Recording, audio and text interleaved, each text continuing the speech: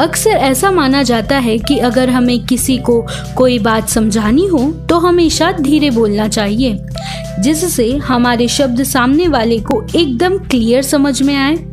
लेकिन दुनिया में कई ऐसे लोग होते हैं जो काफ़ी तेज़ बोलते हैं। दुनिया में कई ऐसे लोग भी होते हैं जो इतना तेज़ बोलते हैं कि विश्व रिकॉर्ड बन जाता है। अमेरिका के जॉन मोशिटा जूनियर एक मिनट में पाँच सौ छियासी शब्द बोल लेते हैं। यानी सिर्फ़ एक सेकेंड में वो दस शब्द बोल लेते हैं। दुनिया उन्हें मोटर माउथ के नाम से भी जानती है। उनका यह अजीबो गरीब नाम उनकी बोलने की खास कला के कारण पड़ गया।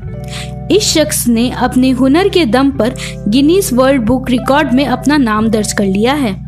हालाँकि, बाद में यह रिकॉर्ड ब्रिटेन के रहने वाले स्टीव वुड मोर ने तोड़ दिया, जिन्होंने एक मिनट में 627 शब्द बोलकर रिकॉर्ड को अपने नाम कर लिया। जॉन बताते हैं, वह छोटे थे तो उन्होंने अखबार में पढ़ा था कि तेज बोलने वाले लोगों को विज्ञापन में बोलने के लिए पैसे मिल रहे हैं। ऐसे में जॉन ने इस काम को अपने प्रोफेशन ही बना लिया। उन्होंने सौ से ज़्यादा विज्ञापनों में माइक्रो मशीन मैन के तौर पर काम किया है। जॉन ने अपने हुनर के दम पर काफ़ी कमाई की है और वह इसको लेकर बेहद ही खुश हैं।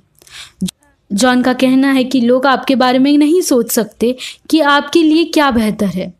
आपको खुद के लिए सोचना पड़ेगा कि आप क्या करना चाहते हैं। साल 1986 में रिलीज़ हुए ट्रांसफॉर्मर्स मूवी में जॉन उसके बाद जॉन ने ट्रांसफॉर्मर्स के दो अमेरिकन टीवी शोज़ में भी अपनी आवाज़ दी।